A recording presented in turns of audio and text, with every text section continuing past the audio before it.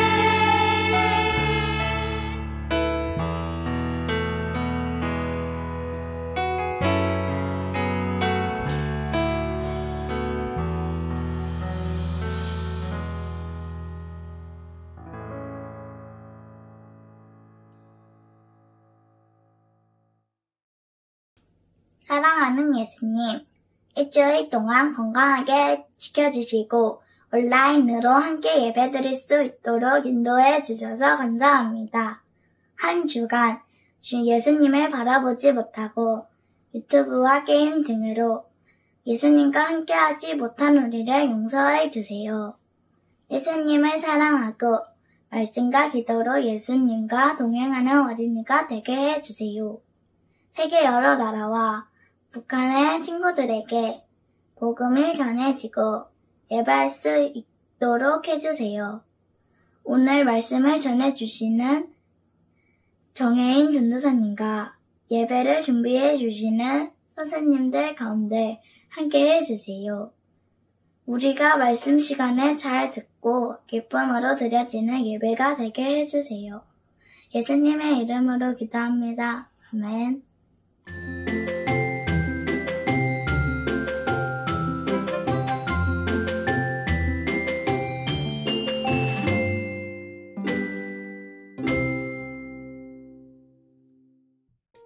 (2023년 10월 2일) 우리 가족은 추석을 맞아 작은 아빠 집에 놀러 갔다. 근데 가는 길에 언니랑 서로가 원하는 노래를 듣기 위해 조금 싸웠다. 속으로는 언니에게 매우 화났지만 화를 내면 예수님이 안 좋아하실 것 같아서 참고 언니에게 양보를 했더니 아빠가 칭찬해 주셨다. 듣고 싶은 음악을 듣지 못해 속상했지만 아빠가 칭찬해 주셔서 기분은 좋았다.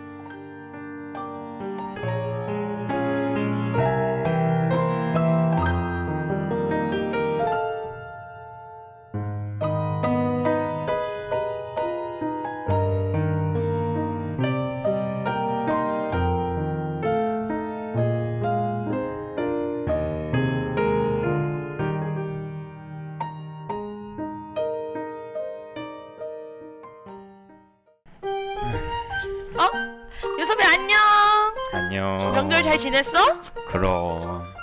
근데 왜 이렇게 힘이 없어? 너 무슨 일 있었어? 아, 너 명절 용돈 못 받았구나. 아니야. 용돈은 많이 받았어. 에? 근데 왜 이렇게 울상이야? 진짜 무슨 일 있는 거야? 아니 다른 건 아니고 우리 엄마 때문에. 아휴. 아유 우리 똥강아지도 이제 올 때가 됐는데 왜 안 오지? 이거 며느리하고 올 때가 됐는데 아유 왜안 오지? 할아버지. 소리야? 할아버지. 아유 아 우리 며느리하고 요섭이 왔구나. 할아버지, 아유, 우리 안녕하세요. 왔구나. 아이고 아이고 우리 잘 지냈어 잘 네 지냈어. 할아버지 보고 싶었어요. 어, 아버님 잘 지내셨어요? 아유 우리 며느라기도 잘 지냈어. 아유 오늘은 고생 많았지. 아유 내가 이 시골에 살아가지고 오기가 힘들어요. 할아버지 너무 멀었어요. 아유 멀었지. 그래도 이렇게 아, 오니까 진짜. 너무 좋다 이 할아버지는. 아유 우리 유섭이는 잘 지내고 있나 지금? 그럼요 할아버지. 저 이번에요 학교에서 학교에서? 놀라면 안 되는데? 학교에서 1등 했어요 1등? 공부 1등 한 거야? 싸움 1등 한 거 아니야? 무슨 1등 했는데? 아무튼 1등이에요. 아 1등 했어. 아유 우리 유섭이 1등을 하고 이 하루비는 교회 다닐 때 이 핫도그 빨리 먹기 1등밖에 안 해봤는데 우리 유섭이 천재가 나왔네 천재. 맞아요. 천재를 그냥 이 하루비가 그냥 두고 우리 하루비가 그래가지고 이 명절 맞이해가지고 우리 요섭이 요섭이 우리 공부 더 열심히 하라고 이 용돈 준비했어 용돈. 우와! 용돈 준비했으니까 이걸로 맛있는 것도 어머, 사 먹고. 아버님 뭐 이런 걸 우와, 다. 아이고 얼마 엄마 가만히 만났어? 만났어. 이 할아비가 이제 일을 못 하잖아. 아이고. 반일 해가지고 반일 해가지고 좀 넣었어 넣었어. 그러니까 맛있는 거 많이 사 먹으라 우리 요섭이 계속 1등하고. 할아버지 이거 봐도 돼요? 어 그럼 봐도 되지 봐도 되지. 아유 할아버지 너무 많은데 이거 그래 그래 괜찮아요? 싸움이든 뭐든 다 1등하고 알았어? 네. 다 1등하고, 아이고 잘했어 잘했어. 아이고, 감사합니다 우리 잘 쓰겠습니다 아유, 아유, 근데 갑자기 아유 왜 그러냐 이거 아유 어제 먹은 식혜가 좀 시원 아유 내가 할아버지. 어제 오기 전에 식혜를 먹었는데 배가 너무 아파 아유 좀 화장실 가야 되는 거 아니야 화장실 화장실? 좀 갔다 올게 아유, 아유 안녕하세요 갔다 올게 아유. 오예 이걸로 이번에 새로 나오는 게임기랑 드론이랑 이것저것 다 사야지 유서봐 그 봉투 엄마 주려 엄마가 저금해 줄게. 싫어요. 아니 그게 무슨 말이야? 아니 싫다니까요. 엄마가 저금해 준다니까. 다 나중에 쓸 때가 쓸 너 지금 쓸 데도 없잖아. 다 나중에 엄마가 잘 저축했다가 너 잘 쓰게 해줄게. 아니 아니 엄마 내가 이거 조금 조금만 남기면 드, 드리긴 할 텐데 조금만 남겨서. 안돼 안돼 안돼. 얼른 줘. 아니 얼른 줘. 얼른 아니, 줘. 아니 왜요? 엄, 잠깐만요 잠깐. 얼른 줘. 알겠습니다 모르겠어요. 아 뭐야 그럼 너희 어머니가 저금해 주시겠지 아, 네가 우리 엄마를 몰라서 그래. 어? 분명히 그거 우리 엄마가 쓸 거라니까. 아, 근데 지난번에도 내가 세뱃돈 드렸거든. 아, 근데 일주일 있다가 엄마가 못 보던 가방이 생겼더라고. 나는 진짜 우리 엄마 믿을 수가 없어. 아니 아니 이제 아무도 믿을 수가 없어. 에이 그건 너무 같다 에이.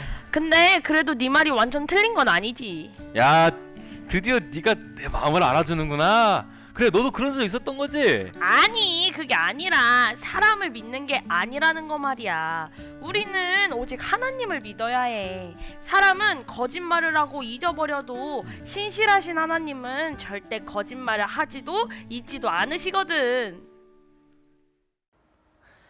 오늘 하나님께서 주시는 말씀은 예레미야 29장 11절에서 13절의 말씀입니다.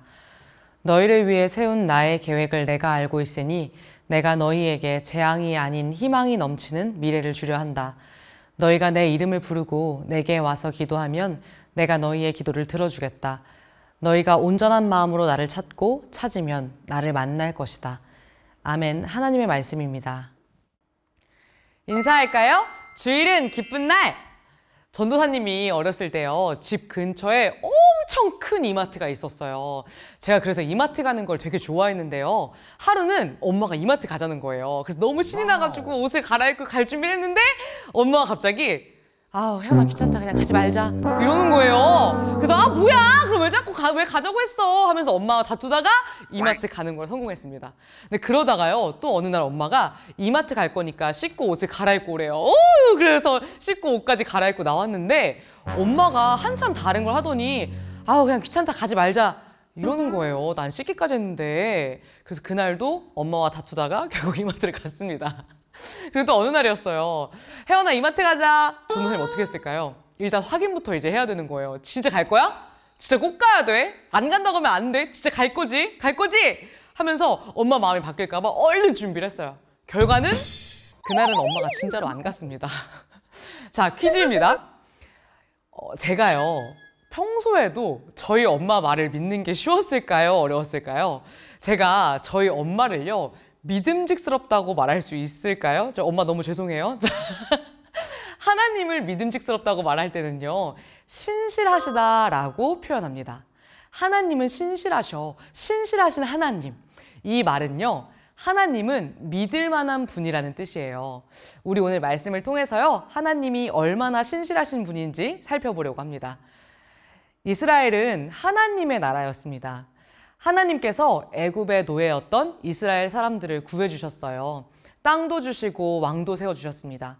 때에 맞추어 해가 나게 하시고 비를 주셔서 이스라엘 사람들이 농사도 잘 짓고 살 수 있도록 보호해 주셨습니다. 그리고 이스라엘 백성들이 예배를 드리면 만나 주셔서 죄도 용서해 주셨어요. 그런데도 놀랍게도 이스라엘 백성들은 그런 하나님을 점점 외면했습니다.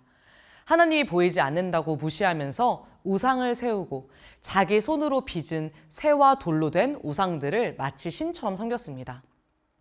한번 상상해 볼게요. 바늘이 가득한 통에 전도사님이 바늘을 집으려고 손을 넣는다면 맨손을 이렇게 집어넣으면 제 손 어떻게 될까요? 으, 바늘에 온통 찔리고 말겠죠? 아, 상상만으로 너무 따갑다. 여기서요, 바늘 하나를 집어내려면 어떻게 해야 될까요? 집게로 집어 올려야 될 거예요. 한때는 하나님께 사랑스러운 자녀였던 이스라엘 백성들은요, 어느새 이렇게 따가운 바늘이 되어버렸습니다. 이제는요, 손으로 어루만져 줄 수 없게 되어버렸어요. 하나님께서는 이 따가운 백성들을 다른 방법으로 만나셔야 했습니다. 하나님께서 선택하신 방법은 바벨론이었어요. 하나님은 바벨론을 통해 바늘이 되어버린 이스라엘 백성을 꺼내기로 하셨습니다. 바벨론은 이스라엘을 무참히 짓밟았어요. 이스라엘은 완전히 폐허가 되어버렸고 수많은 사람들이 포로로 잡혀가게 되어서 나라가 완전히 망하게 되었습니다. 그럼 이제 이렇게 된 이스라엘 백성들에게 하나님께서 해주실 말씀은 무엇일까요? 너 그러니까 내 말 잘 들으랬지. 어쩔 수 없어. 네 탓이야. 너 따끔하게 혼나봐야 정신을 차리지. 하나님께서요, 이런 말씀을 하시면서 혼내신다 하더라도요, 하더라도요, 이스라엘 백성들은 변명조차 할 수 없었을 거예요. 왜냐면 모두 맞는 말이잖아요. 누가 잘못해서 이렇게 됐는데. 그런데 하나님은 이런 이스라엘 백성들에게 충격적인 말씀을 하셨습니다. 너희를 위한 내 계획은 재앙이 아니라 희망이야. 너희에게 미래를 주기 위해서야. 너희가 내 이름을 부르고 나에게 기도하면 내가 기도를 듣겠다. 너희가 마음을 다해 나를 찾으면 나는 만나줄 생각이 있단다. 하나님께서요, 이스라엘 백성들에게 왜 이렇게까지 잘해주실까요?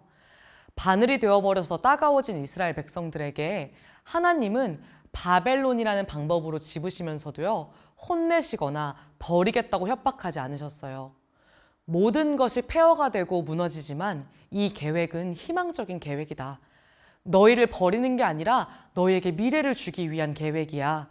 너희는 나를 모른 척 했지만 너희가 다시 내 이름을 부를 때 나는 듣겠다. 너희가 다시 나를 찾으면 나는 만나줄 생각이 있어. 우리는요, 기분이 내키는 대로 말하고 행동합니다. 전도사님 엄마처럼요, 마트를 가겠다고 했다가도요, 귀찮아지면 약속을 취소하는 일도 있고요. 사과를 해놓고서 다시 실수하는 때도 있습니다. 그리고 다신 안 그러겠다고 다짐했으면서도요, 또 잘못하는 경우가 있어요. 기분이 좋을 때는요, 모든 것에 예스! 하면서도요, 기분이 나빠지면 불평하고 화내는 일도 있습니다. 어때요? 믿을만 한가요? 아니죠. 그런데요, 하나님은 사람이 아니세요. 하나님은 사람이 아니시니 거짓말을 하지 않으시고 인생이 아니시니 후회가 없으시도다. 어찌 그 말씀하신 바를 행하지 않으시며 하신 말씀을 실행하지 않으시랴. 하나님께서는 사람이 아니라 하나님이셔서 영원하시고 그래서 후회할 일도 없으시고 우리와 다르게 인내도 크시고 그래서 우리의 고통과 슬픔도 이해하시는 분이시래요. 친구들, 신실하신 하나님을 믿으시기 바랍니다. 지금 우리가요, 생각할 수 있는 모든 사람과 모든 존재 중에서요, 가장 믿을 만한 분은 오직 하나님 한 분뿐이세요. 오늘 말씀을 통해서 하나님이 어느 정도로 신실한지 우리는 살펴볼 수 있었습니다. 하나님은 자신을 배신하고 무시한 백성들을 향해서도요. 불안해할까봐 두려워하지 말아라. 언제든지 네가 나를 부르고 찾으면 나는 너희를 만나고 너희의 말을 들어줄 거야. 하실 만큼 신실한 분이라는 거예요. 죄인이 되어버린 백성들을 위해서 회복과 희망의 미래를 계획하실 정도인 분이 바로 하나님이라는 겁니다. 그에 반해 우리는 얼마나 믿을 만하지 못한가요? 우리는요, 하나님의 이런 성격, 신실하신 모습을요, 마치 약점처럼 생각해요. 아니, 하나님이 어차피 용서하신다면서요. 그럼 지금 하나님을 믿지 않아도 되는 거 아닌가요? 하나님이 변치 않으시고 어떤 상황에서든지 우리에게 용서와 사랑을 주시는, 주시는 분이라는 것을 약점처럼 생각하고 하나님을 괴롭혀요. 그러다가도 내가 간절히 바라는 것이 생기면요. 하나님께 간절하게 기도합니다. 어떤 상황에서도 변치 않으시고 용서와 사랑과 은혜를 베푸시는 하나님께서 보시기에 우리는 얼마나 믿음직스럽지 못할까요? 사랑을 받아서는 안 되는 사람들이 죄인들이 용서와 사랑을 받게 된 것입니다. 그래서 하나님의 용서와 사랑을 우리는 은혜라고 부르는 거예요. 이제 우리 친구들이요, 내일부터 다시 학교로 등교하고 학원도 가고 매일 보는 가족들을 또다시 만날 거예요. 어, 내가 신실하신 하나님께 어떤 사랑과 용서를 받았는지 꼭 깨달을 수 있었으면 좋겠습니다. 주님을 떠올리면서 주님처럼요. 받은 은혜와 사랑과 용서가 얼마나 귀하고 큰 것인지 꼭 깨닫고 소중하게 여기는 친구들이 되기를 소망합니다. 찬양하고 기도하겠습니다.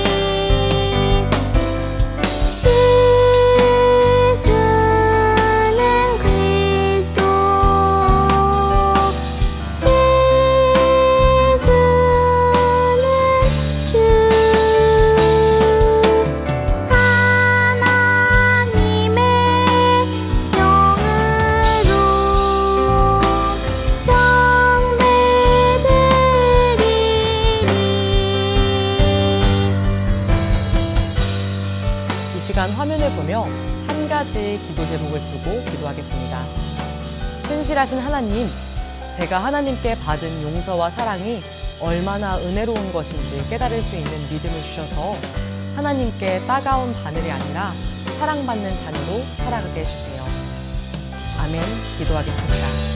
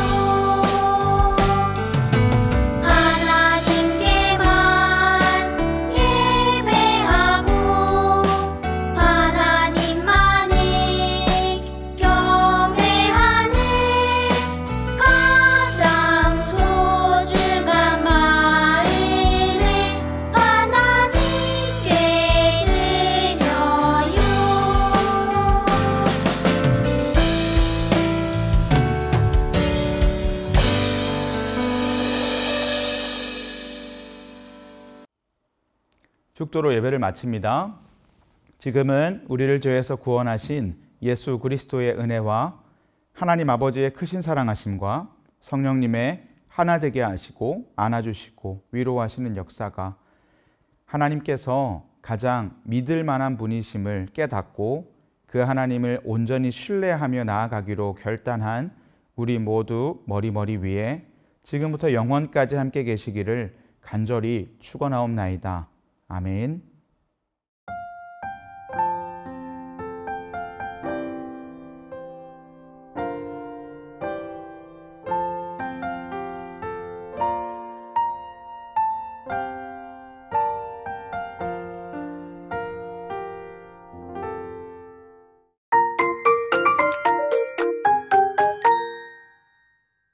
즐거운 말씀 암송 시간이 돌아왔습니다.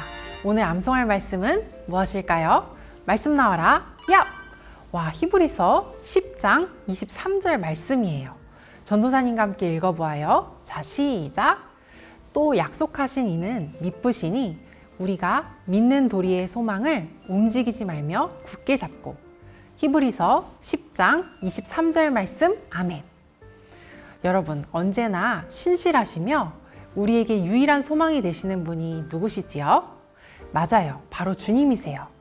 우리가 하나님께서 우리와 영원히 함께 하시고 우리를 인도해 주실 것이라는 약속을 붙잡고 세상의 것에 흔들리지 않으며 오늘도 소망 되시는 예수님께 우리의 사랑과 감사와 헌신을 올려드리는 우리 모두가 되기를 축복합니다.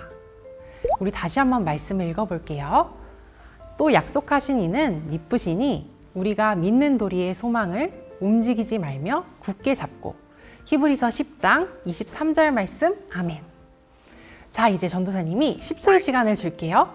우리 친구들 함께 외워보는 거예요. 시작! 10, 9, 8, 7, 6, 5, 4, 3, 2, 1, 땡!